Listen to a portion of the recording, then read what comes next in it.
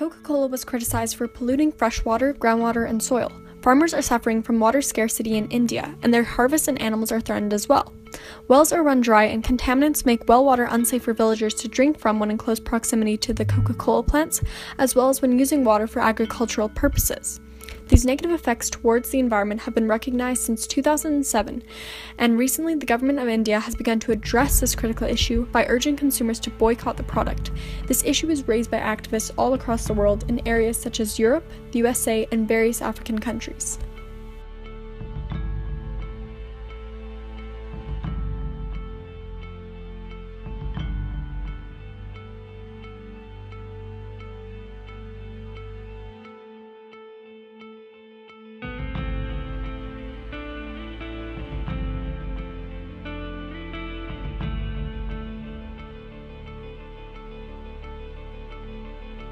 The activity of the Coca Cola Company has caused or contributed a great deal to these problems. The availability of good quality water for drinking purposes and agriculture has been affected dangerously due to the activity of the company.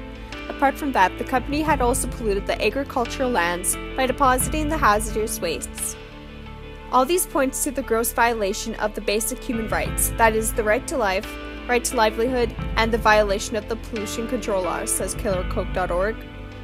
The government of India has taken action in addressing the importance of purchasing locally, and therefore many shops have stopped selling Coca Cola products. Overall, the sales in India have begun to decrease.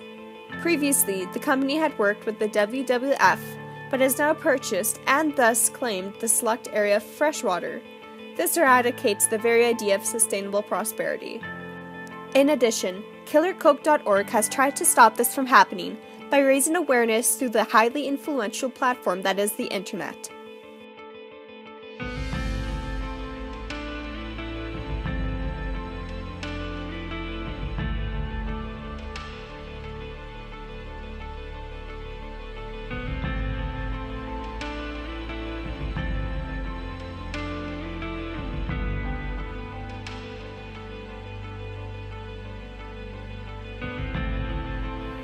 Many activist groups across the world have addressed the known and unknown negative effects of Coca Cola on one's health and also on the environmental effects associated with the company's manufacturing processes.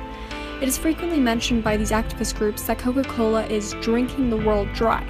The company has dealt with many controversial complaints across the boards and has thus received many critiques on their ethical approach to manufacturing and selling as well. One piece of literature by Bartow J. Elmore called Citizen Coke The Making of Coca Cola Capitalism deals with many of the ethical versus non ethical approaches of the company, including the way they benefited from cheap goods purchased locally, such as easier and cheaper access to water, in developing countries primarily. It entails the company's disregard for common good and rather its desire for economic growth through capitalism. India's Prime Minister, Narendra Modi, has begun to highlight the importance of purchasing locally by calling it Make in India. Over 1 million shops have stopped selling Coca Cola and Pepsi products.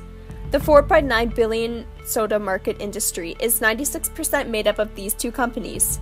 India's sales volume growth, the sale in carbonated drinks, has decreased from 12%, yet still surpasses the global sales volume growth from 2012 to 2017 which has then been between 0% and just over 1%, and is expected by 2021 to rise to approximately 1.5%.